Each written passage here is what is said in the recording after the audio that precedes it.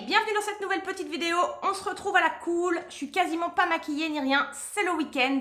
Pour les tops et les flops du mois de décembre, j'ai envie de vous parler aujourd'hui des produits que j'ai vraiment beaucoup beaucoup aimé ce mois-ci et ceux que je n'ai pas du tout aimé au contraire, voire détesté. Je vais vous expliquer pourquoi bien sûr. Je vais faire première partie make-up et deuxième partie skincare. Que du skincare visage, il n'y aura pas de skincare corps. Avant toute chose, vous pouvez vous abonner à la chaîne maintenant en cliquant sur le petit bouton rouge en bas, s'abonner, c'est gratuit. Moi ça me fait très plaisir et ça m'encourage énormément. Donc si c'est pas encore fait, allez-y. Vous pouvez le faire tout de suite et si c'est déjà fait, merci beaucoup beaucoup. Rejoignez-moi aussi sur Instagram, c'est pas trop mal là-bas et on commence par le make-up. Je vais pas forcément faire dans l'ordre et tout, j'ai envie de commencer par les lèvres alors, en termes de top, j'ai plusieurs rouges à lèvres que j'ai adorés, notamment les petits gloss Fenty Beauty que j'ai découvert récemment. Donc j'en ai deux là, j'en ai un qui est en format euh, normal quoi, en full size, et un qui est en format mini. Donc ce sont ces deux-là, c'est la gamme euh, Diamond Bomb. Alors le plus gros qui est un petit peu marron bronze, c'est la teinte Fenty Glow. Et le deuxième, celui qui est un petit peu plus rose, le petit, c'est la teinte Fussy. Et alors ces deux produits-là, franchement, ils sont extra. Moi qui suis pas très gloss à la base, c'est pas le genre de produit que j'ai l'habitude d'utiliser. Je trouve ça parfois un peu too much, un peu collant, enfin voilà, je, suis pas fan en temps normal. Et j'ai l'impression que ce sont vraiment ces deux gloss Fenty qui me, bah, qui me font découvrir les gloss et qui me les font aimer. Déjà les teintes sont magnifiques, vous avez dû les voir en action dans mes anciennes vidéos. On a la teinte, donc un petit peu marronné ou un petit peu rosé pour celui-ci, mais en subtilité, ils sont lumineux mais pas trop, ils collent pas, ils donnent cet effet bouche un peu glamour. Je, les aime énormément. La texture est très agréable, ils sentent bon. Enfin, gros coup de cœur pour ces, pour ces deux petits gloss. Dans mes tops, j'ai mis un rouge à lèvres Sephora aussi que j'ai découvert il n'y a pas longtemps de la collection Sephora, donc c'est Sephora Collection, c'est euh, la teinte L14. C'est une teinte un petit peu terracotta, donc comme il y a là sur le, sur le bouchon. Vous connaissez mon amour pour ce genre de teinte et de couleur sur les lèvres, un petit peu rouille terracotta, j'adore ça. Je vous fais un petit aperçu sur ma main, voilà, ce genre de teinte sur les lèvres, moi j'en suis complètement fan. Je trouve ça hyper original comme couleur, je trouve que ça met vraiment en valeur la bouche. Et alors, j'adore la teinte, mais aussi la texture, ils sont onctueux, ils sont crémeux, ils sont doux, ils tiennent super bien toute la journée, ils sont pas très chers, donc franchement, gros top du mois. Le dernier top en termes de lèvres, c'est pas vraiment un rouge à lèvres, c'est plutôt un baume à lèvres. Euh, de chez Dior, c'est le Lip Glow. Alors ça, c'est pas une nouveauté, par contre, je l'ai depuis un petit moment, mais c'est vrai que je l'ai utilisé beaucoup, beaucoup ces derniers temps parce que sous le masque, je trouve ça hyper pratique. Donc la teinte que j'ai, moi, c'est celle-ci, c'est un rose assez clair, c'est la numéro 101 matte pink. Alors bon, déjà, voilà, on s'arrête sur le packaging Dior, absolument magnifique. Alors c'est un petit baume à lèvres comme ça, mais en fait c'est entre le baume à lèvres et le rouge à lèvres. Ils sont déjà très hydratants pour les lèvres, puisque c'est vraiment la, fonction première du produit, c'est de venir vraiment nourrir, hydrater les lèvres. Et ils sont sur les lèvres, ils sont veloutés. Je sais pas comment vous dire. Ils font cet effet un petit peu lèvres euh, toutes douces, toutes veloutées. Il y a quand même une petite couleur, même si moi j'ai pris une teinte très claire, on voit une petite couleur rose pâle. Je sais pas, ils font une bouche toute douce, toute mignonne. Et sous le masque, c'est idéal. Ensuite, j'ai deux flops en termes de lèvres, deux produits lèvres que j'ai pas du tout aimé. Le premier, vous l'avez vu en action dans une de mes vidéos crash test, c'est la Magic Pout Potion de chez euh, Ciaté. Donc c'est un produit comme ça. C'est une base à lèvres en fait. J'ai détesté ce truc-là. Franchement, flop, mais total. Je l'ai détesté. Alors, ça se présente avec un embout comme ça, un peu comme un gloss. Non seulement c'est blanc, mais quand je vous dis blanc, c'est vraiment blanc sur les lèvres. Euh, ça n'apporte rien du tout, aucun effet repulpeur, alors que c'est censé venir repulper les lèvres avant le rouge à lèvres. Pas du tout. Et en plus, sur moi, ça faisait des paquets, des grumeaux, c'était tout sec sur mes lèvres. Enfin, atroce. Franchement, atroce ce truc-là. Alors, peut-être que c'est moi qui ne sais pas l'utiliser correctement, je n'en sais rien.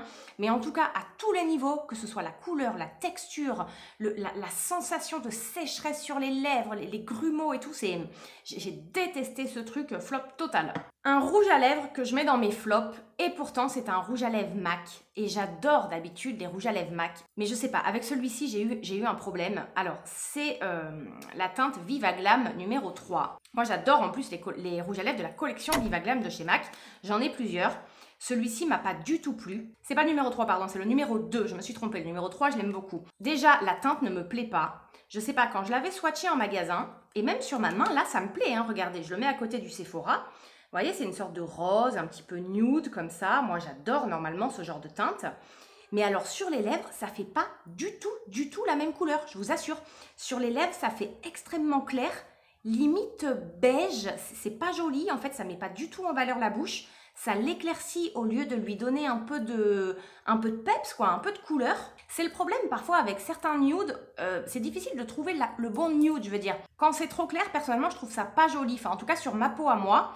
Et là, c'est exactement ce que ça fait, alors que sur la peau, il est quand même foncé, vous voyez. Et en plus, euh, je sais pas, celui-là, peut-être je suis tombée sur un défectueux, hein, c'est possible, mais il est hyper sec, alors que euh, le Viva Glam numéro 8, que j'aime beaucoup, qui est euh, cette teinte-là, je vais vous la mettre à côté. Vous voyez, rien à voir, hein. on est plus dans les violines, beaucoup plus foncé. Celui-là, il est crémeux, il est agréable à porter et tout, alors que celui dont je vous parle, je sais pas, il est vraiment sec et donc très désagréable sur les lèvres, ça tire, c'est vraiment pas agréable du tout. Donc je sais pas ce que je vais en faire. C'est vraiment dommage, MAC c'est une marque que j'adore et c'est très très rare que j'ai des flops chez MAC. Mais bon, j'ai oublié, non non non, j'ai oublié un véritable top euh, en termes de lèvres et je crois que j'aurais dû le mettre en premier d'ailleurs. Ça c'est pas forcément une nouveauté, ce sont les rouges à lèvres Ink Crayon de chez Maybelline. Alors là je vous montre les deux que moi je porte le plus, à savoir la teinte numéro 15 et la teinte numéro 30. La teinte numéro 30, le, le rose comme ça un petit peu, enfin assez girly, c'est celle que j'ai aujourd'hui sur les lèvres d'ailleurs. Et alors ça, mais déjà en temps normal,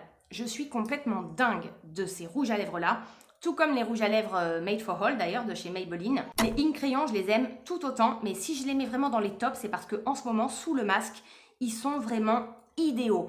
Parce que les Made for All, c'est des raisins un petit peu satinés, donc sur le masque, ça peut un petit peu transférer.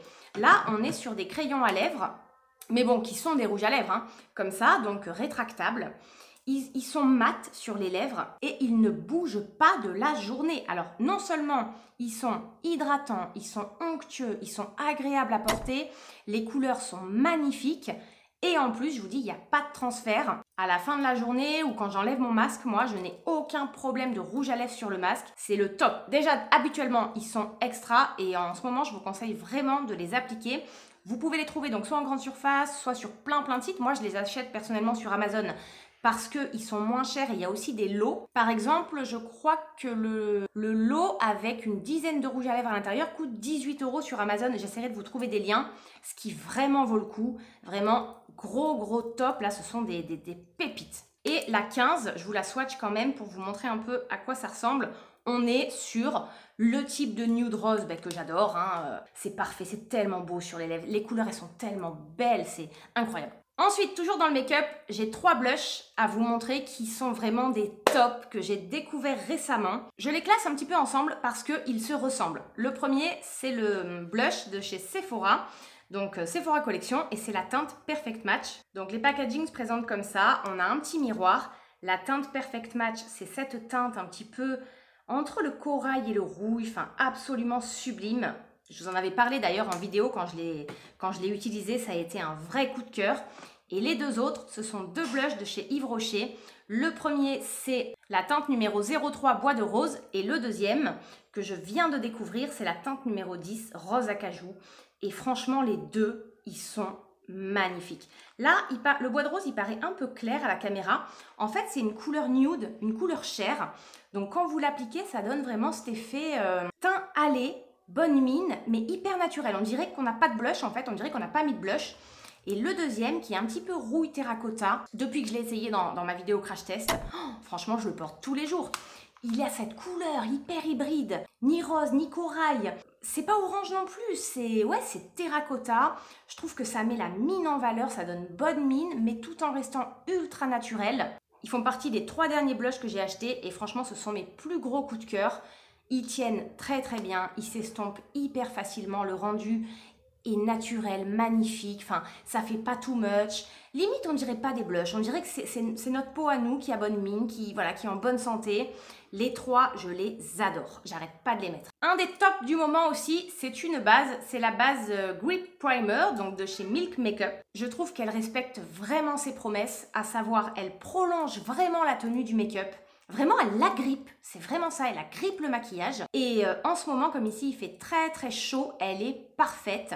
Donc, elle va prolonger le make-up malgré la transpiration, l'humidité, la chaleur et tout ça. En plus, elle est légère. Alors, elle est un tout petit peu collante au moment de l'application parce que euh, parce que c'est une texture gel un petit peu comme ça qui va venir agripper le reste. Mais j'aime énormément la texture, l'odeur aussi. Je trouve qu'elle est hydratante en plus.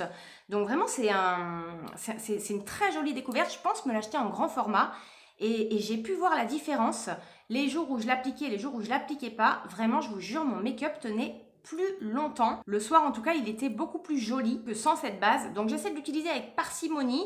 Je l'ai utilisé là 5-6 fois pour le moment. Mais vraiment, c'est un top. Je suis pas déçue du tout. N'hésitez pas à l'essayer si vraiment vous recherchez une base comme ça, que vous avez la peau plutôt mixte à grasse et que vous voulez quelque chose d'hydratant, de léger, mais qui quand même va prolonger la tenue de votre, de votre make-up. Elle est parfaite pour ça. Alors, il me reste deux produits maquillage avant de passer au skincare un top et un flop. Bon, je vais commencer par le flop. Le flop, c'est un highlighter liquide de chez Too Faced euh, qui s'appelle le Fresh Squeezed. Donc, ce sont des larmes illuminatrices pour le visage. Donc, ça se présente comme ça. Le packaging, franchement, il est trop, trop beau. J'avoue que je me suis fait un peu avoir. Hein. Je l'ai trouvé magnifique. C'était en promo, donc j'ai craqué. Il faut le secouer, en fait. Ils disent bien hein, de, de le secouer pour que toutes les petites vous voyez, regardez, toutes les petites paillettes, il y en a des dorés, des roses, des argentés, se mélangent au produit. Alors, ce truc-là, je vous l'avais montré en vidéo. Sur la main, quand on l'étale, c'est très joli, effectivement. On voit les petites paillettes, c'est lumineux et tout. Mais par contre, sur le visage, euh, franchement, c'est... Enfin, je vais pas dire que c'est nul, mais sur moi, en tout cas, ça n'apporte aucun effet lumineux à mon visage. Donc je l'applique là, hein, moi l'highlighter essentiellement, un peu sur le nez. Et franchement, ça ne se voit pas du tout, du tout. Il faut vraiment s'approcher et avoir le miroir euh, devant la figure en plein soleil pour pouvoir voir quelques petites micro-paillettes de lumière. Mais voilà, ça apporte pas un glow euh, et encore moins un glow, voyez, naturel, comme si voilà, on, avait le, teint frais et lumineux.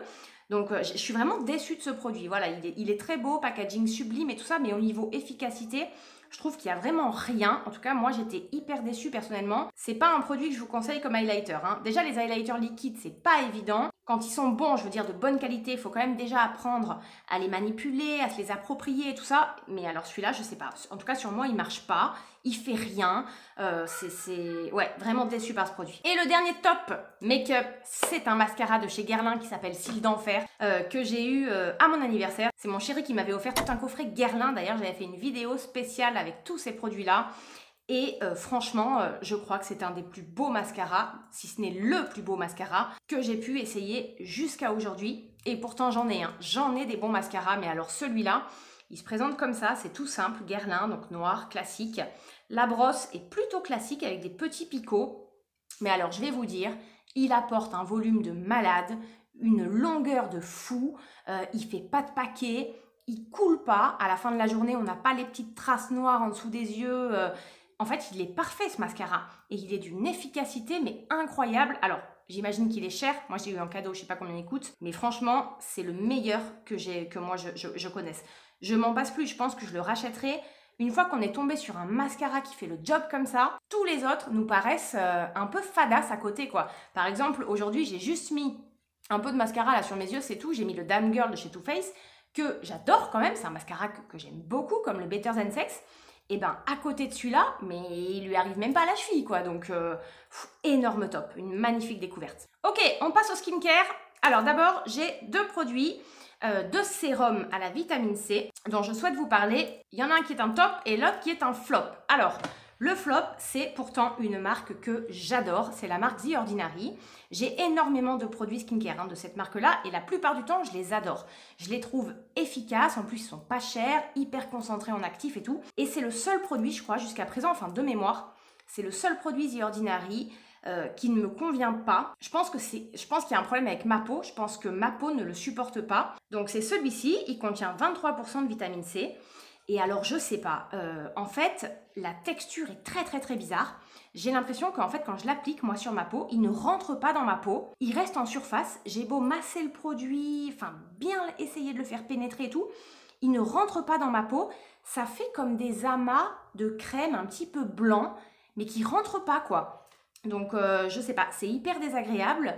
Du coup, l'odeur euh, sent pas bon. Enfin, moi, je j'aime pas du tout l'odeur. Je, je sais pas, je sais pas. Peut-être qu'il est périmé aussi. J'en sais rien, mais l'odeur est extrêmement désagréable et il fonctionne pas. Donc, euh, je, pense que ma peau le tolère pas ou ne veut pas l'absorber. Il y a vraiment un problème. Voilà, que ce soit au niveau odeur, texture et du coup, je peux pas en voir vraiment l'efficacité. Moi, ça me va pas, donc euh, malheureusement, c'est un, c'est un flop. Et par contre, l'autre produit, l'autre sérum à base de vitamine C j'adore depuis que je l'ai reçu, c'est, un sérum donc de la marque Tiam que j'ai reçu grâce au site Stilvana. C'est le My Signature Red C Serum. Donc celui-ci qui par contre est à, est à 20%, donc il n'est pas 23 à 20, bon c'est à peu près pareil, de vitamine C. Et il y a aussi à l'intérieur de la vitamine B12 et du glutathione, donc il est comme ça. Et alors là par contre, celui-là, je l'adore. C'est pas du tout la même texture. Là, on est vraiment sur une texture sérum, alors que le The Ordinary, on dirait plus une crème finalement. Il est rouge, c'est ça qui est un petit peu surprenant. Euh, c'est vrai que c'est un peu étrange, les, voilà, les sérums rouges comme ça. Enfin, personnellement, j'ai pas l'habitude, à part le peeling The Ordinary, le fameux. Bon, par contre, l'odeur est pas top top. Voilà, c'est une odeur un peu bizarre. C'est pas aussi désagréable que le The Ordinary, mais j'avoue, voilà, je suis pas fan de l'odeur. Mais par contre, il pénètre instantanément la peau. Limite, on n'a pas besoin de le masser. Il rentre quasiment tout de suite dans les pores. Et je vois son efficacité instantanément. Pour le moment, j'en ai fait à peu près une quinzaine d'utilisations. C'est pour ça que je voulais vous en parler quand même après quelques utilisations. Et je le vois tout de suite, quoi. Je le vois. Euh, ma peau, elle est plus belle, comme s'il lui apportait un shoot, vous voyez, un shoot d'énergie, ouais, un shoot de vitamine C, mais qui est instantanément visible. Donc ça, c'est un produit que je vais racheter. Autant celui-là, je ne vais pas le racheter, c'est certain. Autant celui-là, c'est une très très belle découverte et je pense vraiment me le, racheter quand j'aurai terminé. Ensuite, un produit qui est un véritable top, mais alors qui est devenu l'amour de ma vie, je crois. Mais vraiment, c'est le Sun Secure Blur de chez SVR. C'est ce produit-là. Je m'en passe plus. Je l'applique les jours. C'est un produit qui va venir, alors c'est une sorte de crème euh, mousse, d'ailleurs il s'appelle crème mousse flouteur optique, qui va venir lisser votre peau, euh, vraiment euh, lisser les pores, les camoufler, unifier la peau. En même temps, il y a un indice 50 à l'intérieur. Donc pour moi, c'est parfait ici parce qu'il me protège du soleil à fond. Et en même temps, il vient, je vous dis, unifier mon teint. Il est incroyable ce produit. Il fait une peau de pêche. Je crois que c'est ce que je vous avais dit la dernière fois. C'est le produit qui fait vraiment une peau de pêche comme moi je n'en ai jamais vu. D'ailleurs, par exemple, aujourd'hui, je n'ai que ça sur mon visage. Aujourd'hui, j'avais pas envie de me maquiller. J'ai mis ça, un peu de mascara et un peu de rouge à lèvres. Voilà tout ce que j'ai sur la peau aujourd'hui.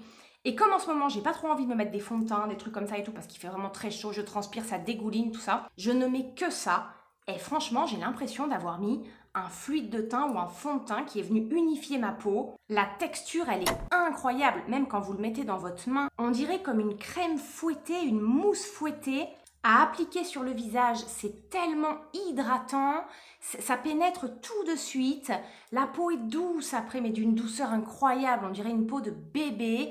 Je, suis tombée amoureuse de ce produit-là, vraiment, il a tout, il a tout, que ce soit euh, la texture, l'odeur qui est très très très agréable, le rendu, la protection solaire. Si par exemple vous aimez pas trop trop vous maquiller ou que vous recherchez vraiment des choses extrêmement légères, vous n'êtes pas fan des fonds de et tout ça, essayez ce produit-là. Il va juste venir, ouais, unifier votre grain de peau comme s'il venait la lisser, la rendre plus belle, plus douce. Les pores sont quasiment invisibles, alors que moi, c'est mon souci vraiment numéro un, c'est les pores dilatés. Ce truc-là est extraordinaire. Et je vous dis, cerise sur le gâteau, il protège la peau euh, du soleil à fond. C'est le gros gros top. J'ai découvert ça il y a quelques semaines. J'en ai déjà racheté deux tellement je l'aime. Je crois que c'est une de mes plus belles découvertes là de, bah, de toute cette année en fait. Un autre top, euh, alors parce que ça c'était un peu entre make-up et skincare pour moi, c'est un produit donc de la marque The Inkey List au rétinol. C'est ce produit là, c'est un sérum en fait, sérum crème au rétinol. J'adore ce truc-là. Je trouve qu'il a une efficacité de dingue. The Ink Elite, c'est un peu comme The Ordinary, c'est-à-dire c'est vraiment pas cher du tout parce que tout comme pour The Ordinary, l'accent est mis vraiment sur le, contenu du produit plutôt que sur les packaging. C'est vraiment, vous voyez, c'est tout simple. Et celui-ci au rétinol, euh, sur moi, il est extrêmement efficace. L'odeur est pas folle, j'avoue, mais la texture est très très fine. Il pénètre tout de suite la peau. Et un peu comme le sérum euh, Tiam à la vitamine C, on voit l'efficacité, on le voit tout de suite, ou en tout cas dans les, jours suivant l'application. si on l'applique une fois par jour ou une fois tous les deux jours, on le voit quoi. Le rétinol vient vraiment booster la production de collagène, c'est visible. Euh, ce truc là, c'est un vrai top. Je l'ai presque fini, je vais me le recommander très prochainement. J'ai pas mis le ventilateur aujourd'hui, peut-être que j'aurais dû parce que là ça y est, je commence à, transpirer.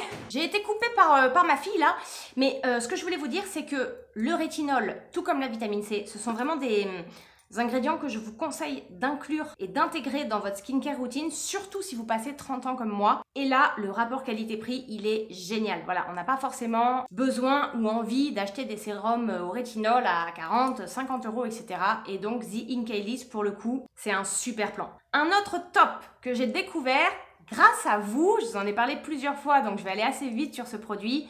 C'est l'huile démaquillante de chez Yves Rocher, euh, Pure Calmie. Donc c'est cette huile démaquillante là. Franchement, j'ai envie de vous dire, euh, elle est parfaite. Elle est parfaite à tous les niveaux. La texture est extrêmement fine. C'est une huile qui vient se rincer à l'eau et donc au contact de l'eau, ça se transforme en lait et ça se voilà, ça s'en va. Ça enlève tous les maquillages, même les plus tenaces, les mascaras waterproof. Elle sent extrêmement bon l'amande douce, c'est une odeur qui est divine. On a le petit flacon pompe, donc ça c'est hyper pratique. Contrairement à l'huile Origins euh, dont je vous ai parlé la dernière fois, que j'adore aussi, mais malheureusement le X c'est que il n'y a pas de pompe, donc c'est un peu galère. Là c'est parfait. Elle coûte pas cher, de mémoire elle coûte 9 euros. Donc euh, franchement, elle est parfaite. Moi, c'est celle que je vais racheter, c'est celle que je vais utiliser maintenant, je pense, parce que c'est l'huile démaquillante la moins chère que j'ai trouvée et qui est la meilleure. Donc euh, vraiment un 100%. Ensuite, un produit flop. Alors, je suis un peu mitigée sur ce produit. Pour le moment, je le mets dans mes flops. Il se peut que ça change. C'est un produit Garantia et pourtant, les produits Garantia, je les adore. Plus je les découvre et plus je les aime justement. Mais celui-ci, j'ai un petit souci. En fait, c'est le masque high-tech liftant, hydratant, repulpant, bal masqué des sorciers. Donc, c'est ce masque-là. Et j'ai un petit souci avec la texture parce qu'en fait, euh, d'ailleurs, quand je l'ai appliqué la première fois, je n'avais pas lu derrière les, les conseils d'utilisation. Moi, je l'ai appliqué comme un masque classique. Et je me disais, punaise, mais ça tire quoi. J'avais effectivement l'impression d'être complètement liftée. Je pouvais limite plus froncer les sourcils, euh, plus parler correctement, enfin plus sourire ni rien ça me liftait complètement le, visage en fait. Donc je me, disais, mais qu'est-ce que c'est? Normalement, un masque, c'est censé venir nourrir, hydrater. Quand on a un masque sur le visage, on se sent bien, quoi. On ne doit pas avoir la peau sèche qui tire et tout ça. Je me suis dit, mais qu'est-ce que c'est que ça? Et en fait, j'ai lu après derrière, effet coup de jeune immédiat. Il faut appliquer donc du bout des doigts le masque sur tout le visage, le laisser environ 5 minutes. Et après 5 minutes, une fine gaine liftante se forme progressivement et il faut venir la retirer avec un coton humide ou ce genre de choses. Donc j'ai réessayé deux trois fois en respectant ces consignes-là. Effectivement, j'ai pu observer comme les masques un peu peel-off, vous savez qu'on enlève comme ça, une sorte de petite couche plastifiée qui se formait sur le visage, mais même en l'enlevant à l'eau avec l'éponge Conjac et tout ça, ça me laissait quand même cet effet sur la peau de je sais pas, de sécheresse en fait. Je ressentais le besoin d'appliquer quelque chose derrière. Alors, par contre, euh, je suis d'accord, il donne un effet euh, liftant, un effet coup de jeune tout de suite en fait. C'est pour ça que d'ailleurs c'est marqué dessus conseil d'utilisation avant une soirée, un mariage, etc. Parce que tout de suite, on est vraiment lifté quoi. Mais je sais pas, j'ai un problème avec la, gelée de soie, avec cette texture-là. Elle est désaltérante, c'est vrai, c'est ce qui est marqué dessus, c'est frais, ça nous donne un coup de frais, mais euh, je sais pas. Pour le moment, je le mets dans mes flops parce que je suis pas fan de ce film un peu là qui se forme. Donc je vais voir, je vous en reparlerai, mais je suis pas fan fan quoi. Un autre flop skincare, alors c'est un produit que j'avais eu en cadeau, c'est un nettoyant pour le visage qui minimise l'apparence des pores de la marque Ven Effect. Donc ça se présente comme ça. Franchement, euh, je l'ai utilisé 4-5 fois pour le moment. Il est presque fini d'ailleurs. J'ai pas, je, ne vois pas l'intérêt de ce produit. Euh, déjà, je, n'aime pas du tout l'odeur. Donc bon, c'est un produit bio, etc. C'était dans la green box, je crois que j'avais eu chez Sephora. L'odeur, j'aime pas du tout. Je, ne saurais pas vous dire. C'est une odeur naturelle, une odeur de plante, mais qui n'est pas du tout agréable. Euh, voilà, moi je suis quand même assez sensorielle. J'aime bien quand j'applique des produits skincare, passer un bon moment cocooning avec des odeurs qui me plaisent, etc.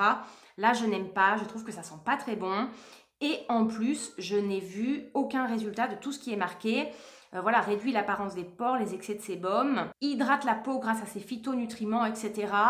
non, franchement, je j'ai rien trouvé à ce produit. Je, je, lui ai rien trouvé d'intéressant, donc euh, flop quoi. Alors, un flop aussi, malheureusement, d'une marque que j'adore, c'est la marque Pixie.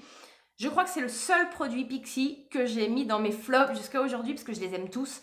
Généralement, tous les produits Pixie, je les aime et je suis jamais déçue de leurs euh, de leur produits skincare. Make-up, j'ai jamais essayé par contre. C'est un nettoyant pour le visage aussi qui est au rétinol et au jasmin. Donc, qui se présente comme ça. Et alors, bon, c'est pareil, j'ai utilisé que la moitié, donc on verra. Mais il marque dessus nettoyant lissant grâce au rétinol qui est à l'intérieur, au jasmin, vitamine A, antioxydants, etc. Pour une peau plus lisse, plus ferme, plus éclatante. Moi personnellement, je, je sais pas, après euh, une quinzaine d'utilisations aussi, je vois pas ça du tout. Donc effectivement, ça nettoie la peau. On sent que la peau elle est propre, elle est bien nettoyée mais je ne vois aucune plus-value en termes de peau plus lisse, plus liftée, etc. Donc euh, je suis un peu déçue. Parce que généralement, les produits Pixie, que j'ai pu tester en tout cas moi jusqu'à aujourd'hui, je, vois l'efficacité, je vois les résultats, que ce soit à court terme ou sur de plus long terme. mais il y a quelque chose qui se passe avec les produits Pixie, je vois ce qui se passe sur ma peau. Et là, c'est la première fois que non, que pour moi, il se passe rien. Donc euh, voilà, je, je, sais pas, je suis un peu déçue, donc pour le moment je le mets dans mes flops. Un top par contre que j'utilise un jour sur deux, et d'ailleurs il est presque fini, ce sont les masques à l'argile de chez euh, Origins. J'avais acheté un petit pack de trois masques, là je vous montre celui-ci, les autres ils sont dans ma salle de bain. Celui-ci c'est le masque purifiant au charbon actif. Donc il se présente comme ça. Celui-là c'est le noir et j'en ai également un qui est rose et puis un qui est vert il me semble. Comme je vous dis en ce moment je suis obligée d'appliquer ça un jour sur deux parce qu'en fait il fait tellement chaud je sue tellement, je transpire tellement en ce moment que je vous jure, mon sébum, le soir, quand je me regarde de près dans le miroir, je le vois dans la glace, sans même euh, commencer à l'enlever et tout. Non, non, non, je le vois tout simplement qui sort, les trucs blancs, jaunes, horribles, horribles, horribles, horribles. Vraiment le truc insupportable, dégoûtant. Donc un jour sur deux, je suis obligée d'appliquer de l'argile qui va venir vraiment absorber comme une éponge le sébum parce qu'il fait tellement chaud, je transpire tellement que la peau euh, vraiment évacue par les pores. Donc j'utilise ça et pourquoi j'utilise ça? C'est parce que certes c'est de l'argile mais qui n'est pas trop asséchante. Parce qu'en principe, l'argile, il ne faut pas l'utiliser tous les jours. Je veux dire, sinon votre peau, elle va être vraiment asséchée, ça va l'agresser et elle va produire encore plus de sébum. Et ces petits masques-là Origins, je les trouve euh, donc certes purifiants, comme toutes les argiles, mais en même temps hydratants. Euh, ils n'ont pas cet effet, comment dire, hyper asséchant, vous savez, qui tiraille avec l'argile. Pas du tout. Et donc c'est pour ça que je peux les utiliser d'ailleurs un jour sur deux. C'est parce que en venant purifier ma peau, eh ben, ils ne l'assèchent pas. Donc vraiment, j'adore. J'adore, j'adore. Ils s'enlèvent facilement à l'eau, sans agresser la peau. Après les avoir rincés, j'observe bien que mes excès de sébum ont disparu. Donc vraiment, ce sont de véritables tops. Vraiment, je vous conseille de les tester. Si vous avez ce besoin de purifier votre peau, si vous avez des excès de sébum, essayez cela parce que ils ont tout plein de propriétés en plus d'être purifiants, euh, des propriétés complémentaires selon celui que vous choisissez. Euh, ils sont de grande qualité. Moi, je les aime beaucoup, beaucoup. Et puis, on va finir par un flop qui est un déodorant, soin déodorant régulateur de chez Aven. Je crois que je vous en ai parlé une fois dans mon haul parce que j'avais commencé à l'essayer. Ben, franchement, ça s'est confirmé, hein, il marche pas du tout. C'est celui-ci, c'est un déo bille. Je l'ai acheté parce que, voilà, comme je transpire énormément en ce moment, j'ai besoin d'un déo vraiment qui va venir euh, bloquer, enfin camoufler la transpiration. Et c'est ce qui est marqué dessus. Vraiment, vient réguler la transpiration, etc.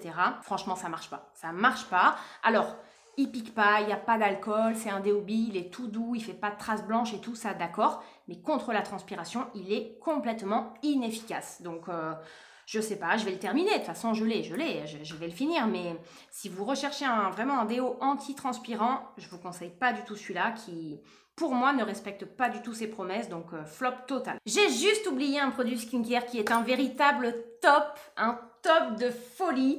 J'arrive à la fin, il me reste plus qu'une seule utilisation. C'est un produit qui est cher, mais qui est multifonction. C'est le masque éclat gelée fraîche euh, de chez Dior, de la gamme Hydra Life. Donc celui-ci, c'est le rose que moi j'ai. Ce produit, c'est une tuerie. Il vient tout faire en même temps. C'est un masque, en même temps c'est un gommage, un peeling, il vient hydrater. En fait, c'est une gelée, comme son nom l'indique, qui est vraiment fraîche à l'application. Il, y a, des petits morceaux à l'intérieur, des petits morceaux de fruits, de fleurs, parce qu'il y a des acides de fruits à l'intérieur. Donc quand vous l'appliquez, il vient purifier votre peau comme un peeling euh, chimique, mais léger, Ensuite, vous le rincez et comme il a cette vertu gelée hydratante, pas besoin ensuite d'appliquer un autre produit. Votre peau, elle est tout en un, elle est nettoyée, elle est purifiée, elle est hydratée, elle est détoxifiée, elle est magnifique. Donc franchement, ce truc-là, c'est... Une merveille quoi. Celui-ci, le rose, c'est à l'abricot et aux agrumes. Il y a des AHA à l'intérieur. Ça, c'est le genre de produit qui peut en remplacer au moins 4 ou 5, type peeling, gommage, masque et tout. Alors, je sais plus combien il coûte de mémoire, c'est vrai qu'il est cher. J'essaierai de me le racheter à terme, pas tout de suite, parce que c'est une véritable merveille. Je veux vous le montrer en action dans ma salle de bain. Je vais commencer à faire quelques petites vidéos dans ma salle de bain, des morning routines ou des choses comme ça. Je veux vous montrer ce qu'il donne sur la peau, le avant, pendant, après. Euh, pour le coup, là, on ne paye pas la marque Dior. C'est un produit de grande, grande qualité. Je veux dire, on le voit sur la peau.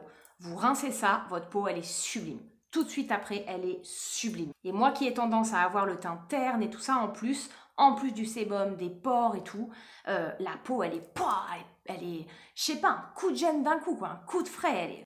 Eh ben écoutez, on a fait le tour des tops, des flops. Euh, n'hésitez pas à me donner votre avis dans les commentaires. Non mais les flops que moi j'aime pas, on est toutes différentes, hein, ça se trouve, vous, ils vous conviendraient super bien.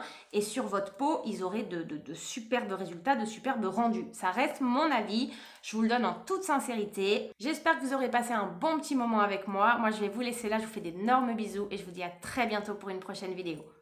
Bye bye